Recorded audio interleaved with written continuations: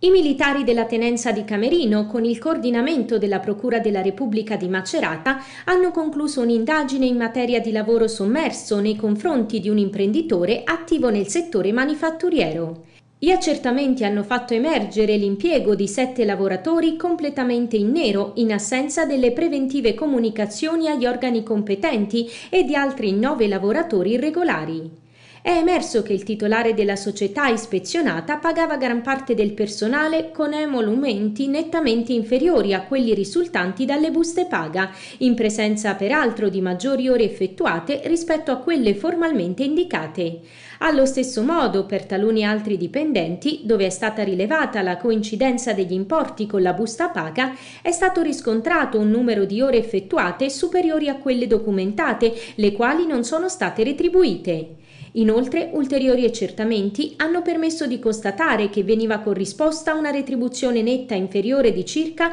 il 40% rispetto a quella stabilita nel contratto collettivo nazionale di categoria, come confermato dagli stessi dipendenti. Alla luce di quanto emerso, il datore di lavoro è stato deferito alla Procura per il reato di sfruttamento. Al termine dell'attività è stato accertato che a taluni dipendenti la retribuzione è stata corrisposta per alcune mensilità senza utilizzare metodi tracciabili e che due dipendenti sono stati impiegati in alcune giornate mentre fruivano della cassa integrazione in deroga da Covid-19. In tal modo l'impresa beneficiaria del sussidio ha anche usufruito gratuitamente di prestazioni lavorative pagate in realtà dall'INPS. Per tale violazione la società è stata sanzionata amministrativamente amministrativamente e l'importo indebitamente percepito è stato segnalato alla direzione provinciale dell'Agenzia delle Entrate di Macerata, quale provento illecito da sottoporre a tassazione.